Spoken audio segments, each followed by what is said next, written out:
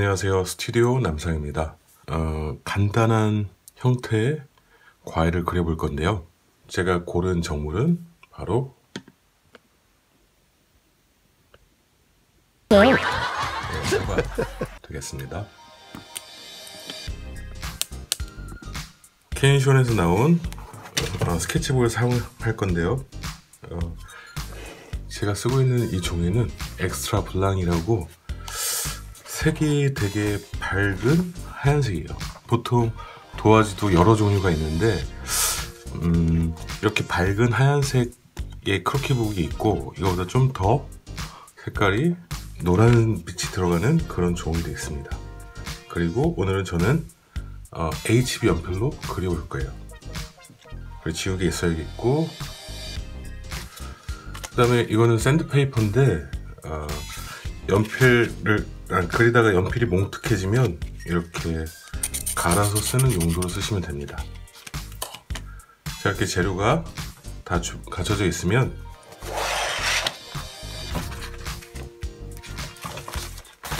자 스케치를 해보겠습니다. 자 일단 그림을 그리시기 전에 어, 그리고자 하는 대상을 정확히 관찰을 해 보십시오. 먼저 저는 사과를 보니까 어, 네, 광택도 나오고 안에 꼭지도 보입니다. 네. 이렇게 충분히 관찰하면 지금은 스케치만 간단한 스케치만 할 거라서 색깔이나 그런 거에 신경 쓰지 마시고 형태에 집중을 하도록 하겠습니다. 다 다시 정보를 배치하고 우리가 보는 모든 물체는 상당히 복잡해 보이기도 하고 어떤 물체는 되게 단순해 보이기도 합니다. 그런데 모든 물체는 비교적 단순한 구조에서 시작을 해요. 자, 보시면 저 사과는 일단 부 모양이죠. 어, 예를 들어 무슨 곽 티슈, 크리넥스 같은 그런 티슈는 사각형 이걸 치겠습니다. 그리고 우리가 흔히 어, 볼수 있는 컵 있죠, 컵. 보통 이런 모양이죠. 컵 같은. 지금 보시면 알 수 있지만 모든 물체는 이렇게 구 아니면 정육명체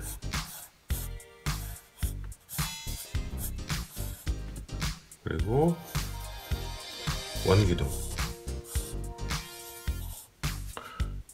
이런 구조면 모든 물체는 쉽게 그릴 수가 있어요. 자 다시 저 사과를 다시 그려볼 텐데요. 음, 저 사과는 일단 구 모양이에요. 자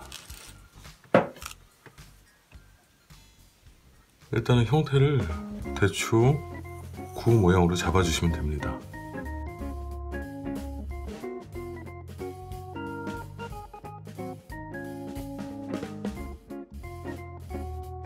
제가 이렇게 큰 원을 구를 그렸는데요. 여기서 좀 더 세밀하게 형태를 관찰을 해주세요. 자, 보시면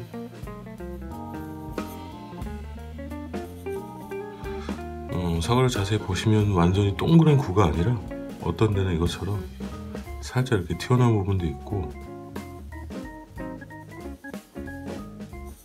음.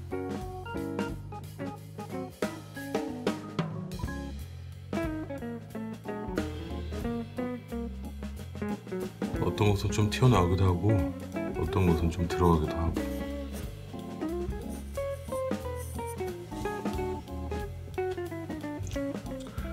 그러면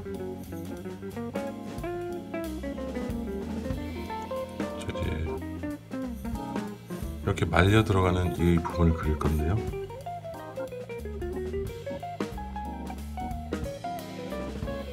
자세히 보시면 저기 사과 꼭지도 보이고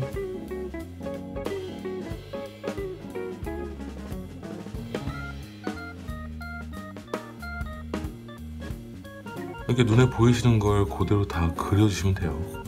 편하게. 어, 못 그려도 뭐 상관없어요.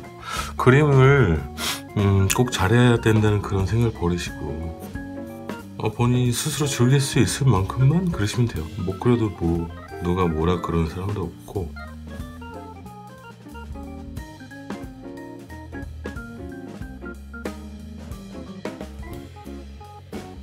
선은 계속 진한 선을 쓰지 말고 어, 좀 약 연한 선으로 이렇게 그려주시면 돼요.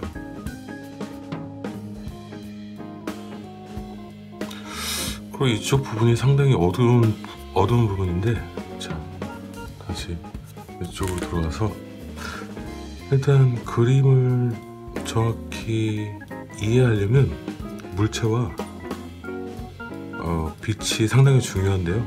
오늘은 그냥 빛은 생각하지 마시고 전체적인 그 원, 어,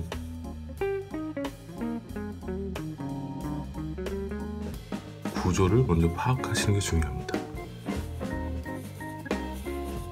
이런 식으로 면이 이렇게 보면 면이 이렇게 나뉘거든요.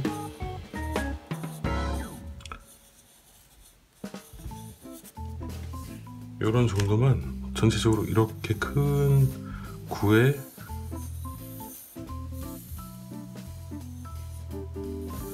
형태를 먼저 잘 파악하시면 돼요. 그리고 이렇게 떨어지는 이런 구조. 이런 구조를 정확히 파악하셔야지 좀 더 진솔한 그림이 나와요. 자,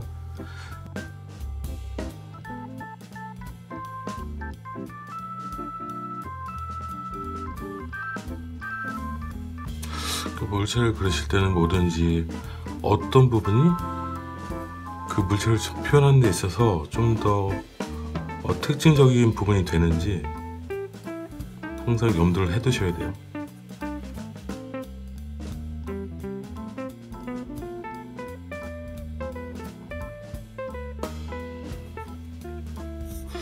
스케치를 하는 목적은 어, 어, 스케치를 기본으로 해서 음, 색칠을 하거나 아니면 연필로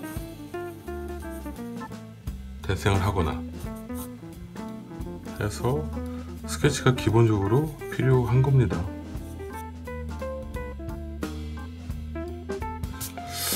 자 일단은 아, 큰 형태의 사과의 느낌이 나왔고 여기서 가능하면 묘사를 좀 많이 해보세요. 지금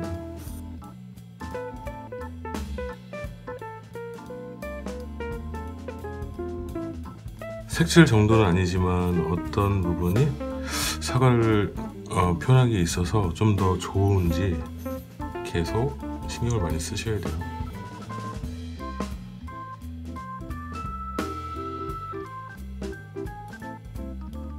우리가 흔히 알고 있는 사과는 그냥 음, 동그란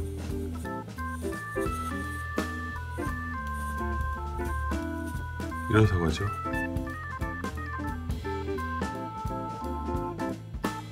사과를 자세히 관찰하시면 어, 색깔도 많이 틀리고 우리가 발견하지 못했던 부분들이 많이 나올 거예요. 되도록이면 보이는 선들 이런 것도 묘사를 한번 해보세요.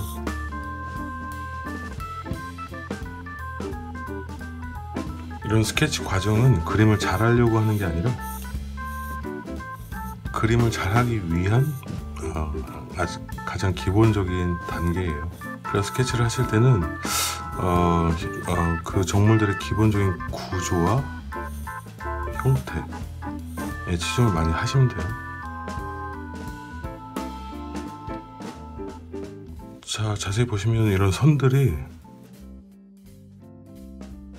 이 안으로 말려 들어가고 있어요. 자세히 보시면 이런 점들도 상당히 많아요. 사과에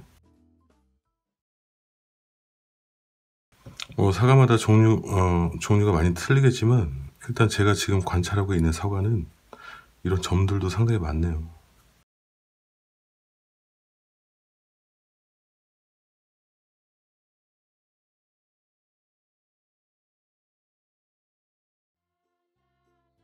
일단 보이는 모든 부분을 어, 어, 선으로 표현을 해보세요.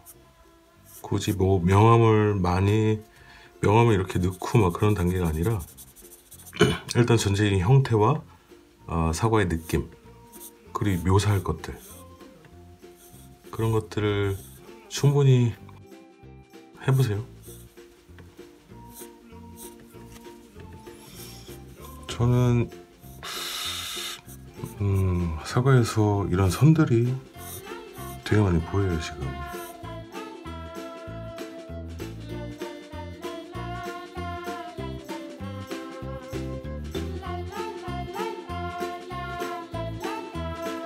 저는 다음 시간에 이 사과를 가지고 연필로 색을 입혀볼 겁니다. 오늘은 여기까지 하겠습니다. 감사합니다.